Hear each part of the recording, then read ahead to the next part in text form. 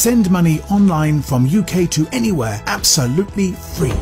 السلام علیکم ناظرین شہر اقتدار سے نیوز الرٹ کے ساتھ میں آپ کا میزبان محمد جابر حاضر خدمت ہے ناظرین بیرون ملک مقیم پاکستانیوں کو رہنمائی پہنچانے کے لیے ہم نے ایک سلسلے کا آغاز کیا ہے کہ پاکستانی ادارے جو کہ بیرون ملک مقیم پاکستانیوں کو سہولیات دیتے ہیں ان کو جو درپیش چیلنجز ہوتے ہیں مسائل ہوتے ہیں ان کو مدد دیتے ہیں۔ وہ کس طریقے سے مدد کرتے ہیں وہ ہم آپ کو رہنمائی اس پروگرام کے اندر پہنچا رہے ہوتے ہیں اور ہمارے ساتھ پروگرام کے اندر تشریف فرما ہوتے ہیں grievance commissioner for overseas Pakistani Hafiz Ehsan Ahmed Khokhar صاحب ان سے ہم گفتگو کرتے ہیں۔ سر آپ کو ویلکم کرتے ہیں پروگرام میں۔ السلام علیکم۔ وعلیکم السلام۔ بہت شکریہ۔ آپ ویری مچ کہ جی آپ نے موقع دیا اور بڑا اچھا سیریس اور پروگرام شروع کیا ہوا ہے۔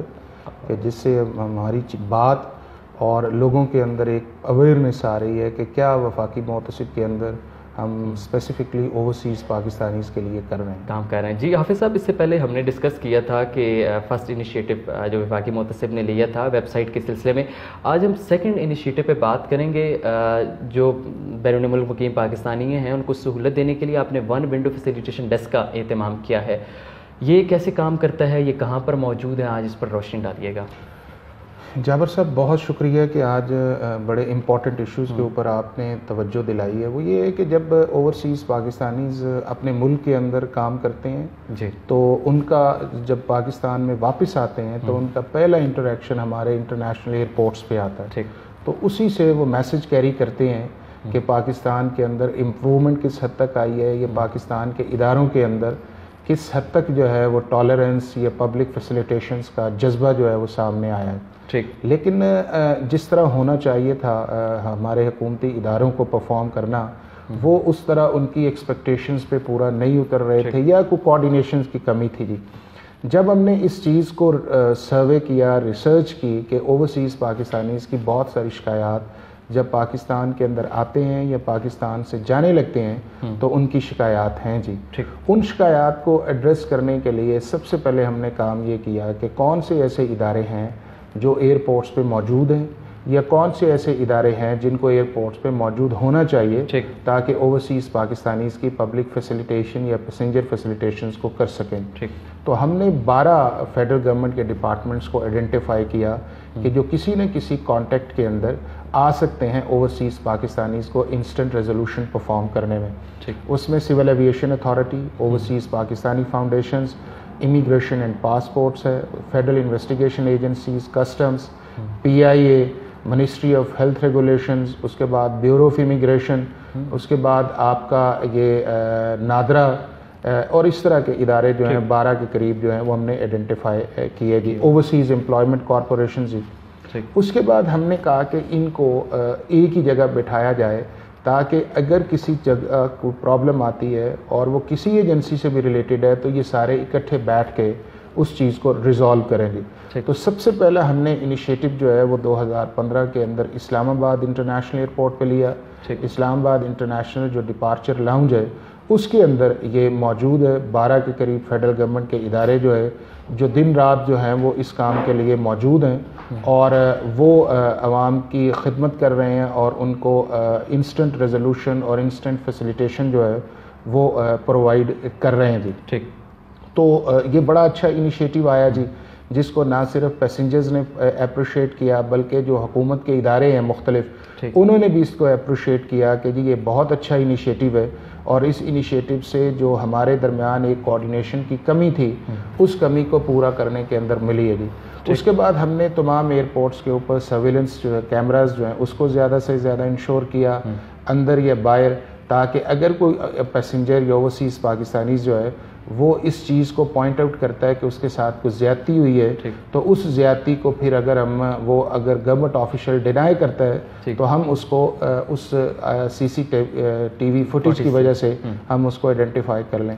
تو اس پہ ہمیں بہت زیادہ جو ہے وہ فیڈ بیک آیا۔ اور نہ صرف یہ انسٹنٹ ریزولوشن کر رہے ہیں تمام فیسیلیٹیشن ڈیسک کی بلکہ یہ کہ ڈیٹرنس کے طور پہ بھی کام کر رہے ہیں جی۔ اچھا اس کے بعد جب یہ سکسیسفل ایکسپیرینس یہاں پہ آیا پھر ہم نے لاہور انٹرنیشنل ایئرپورٹ پہ بنایا پھر ہم نے Karachi international airport Peshawar international airport Faisalabad international airport Multan international airports اور سیال کوٹ انٹرنیشنل ایئرپورٹس کے اوپر ہم نے بنایا۔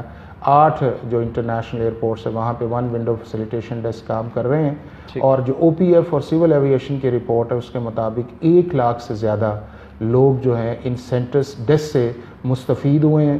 انہوں نے ان کو انسٹنٹ ریزالو کیا ہے۔ اور اس سے ایک پبلک اویئرنیس بھی آئی ہے کہ اگر کوئی ایشو ان کے پاس آتا ہے اور وہ ریزالو نہیں کرتے تو وہ پھر مجھے رپورٹ کر دیا جاتا ہے۔ تو میں بھی جو ریلیونٹ ادارہ ہے اس کو بلا کے اس ایشو کو ریزالو کرتا ہوں۔ تو یہ ایک بڑا خوبصورت سلسلہ بن گیا ہے اوورسیز پاکستانیز کے لیے نہ صرف فیسیلیٹیشن کے حوالے سے بلکہ سروسز کے حوالے سے بھی۔ مگر اب اوورسیز پاکستانیز باہر جانے لگتے تھے تو پروٹیکٹرز کے ایشوز تھے۔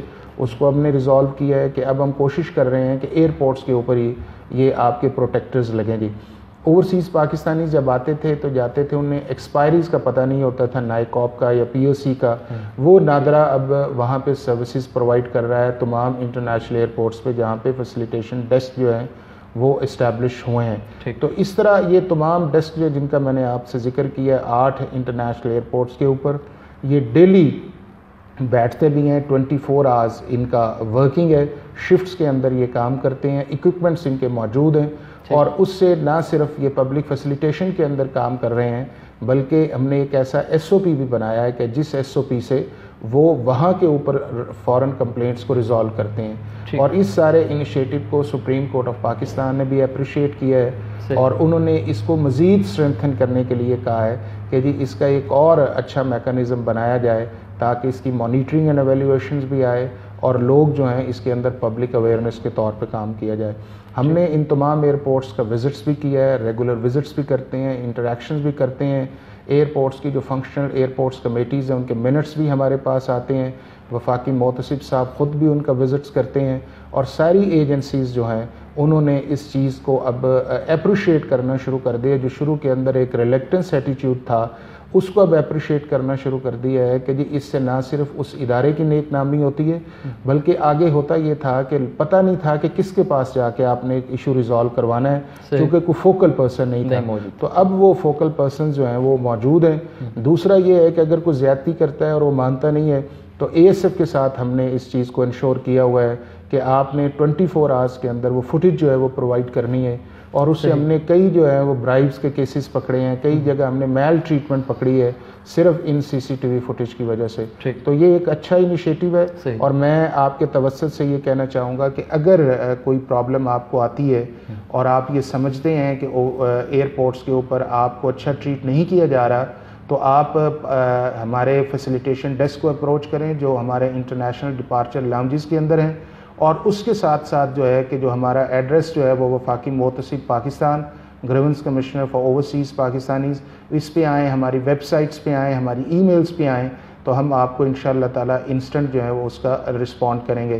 تو جس طرح میں نے آپ سے شیئر کیا کہ ایک لاکھ سے زیادہ پیسنجرز کو وہاں پہ فیسیلیٹیشن آئی ہے تو یہ ایک سکسیس سٹوری ہے کہ ان فیسیلیٹیشن ڈیسک نہ صرف کوارڈینیشن کے تحت کام کر رہے ہیں بلکہ ایک امبریلا کے تحت کام کر رہے ہیں اور جو فیڈرل آمبرڈزمن کا انیشیٹو ہے اس کی سکسیس کے لیے کام کر رہے ہیں۔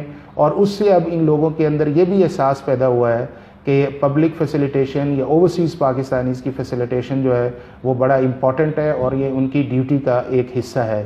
تو میں یقیناً یہ کہنا چاہوں گا کہ اگر کسی کو شکایت ہو یا اس کے ساتھ کو میل ٹریٹمنٹ ہو، تو وہ ان ڈیسک اور ہمارے وفاقی موتسی پاکستان کے آفس کو اپروچ کرے جائے بالکل ٹھیک سر بہت شکریہ۔ ہماری معلومات میں نہ صرف اضافہ ہوگا بلکہ ہمارے ناظرین بھی یقینی طور پر مستفید ہوں گے۔ تو انشاءاللہ اگین آپ کے ساتھ سیٹنگ ہوگی اور باقی جو انیشیٹیوز ہیں ان پر ہم بات کریں گے۔ تھینک یو آپ نے ناظرین ہمارے ساتھ موجود تھے حافظ احسان احمد کھوکر صاحب grievance commissioner for overseas Pakistanis اور وفاقی متصب کے لیے گئے انیشیٹیوز پر آج ہم بات کر رہے تھے۔ ہمیں فیڈ بیک سے ضرور نوازیے گا کہ آپ ان تمام ترسولیات کو کس نظر سے دیکھتے ہیں اور آپ کو اگر کوئی مشکلات آتی ہیں تو وہ بھی ضرور مینشن کیجیے گا۔ ہم آپ کا ڈائریکٹ فیڈ بیک جو ہے اعلیٰ سران تک پہنچائیں گے۔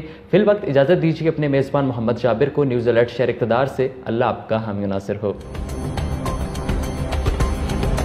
مزید خبروں اور اپڈیٹس کے لیے وزٹ کیجیے news alert dot com dot P K.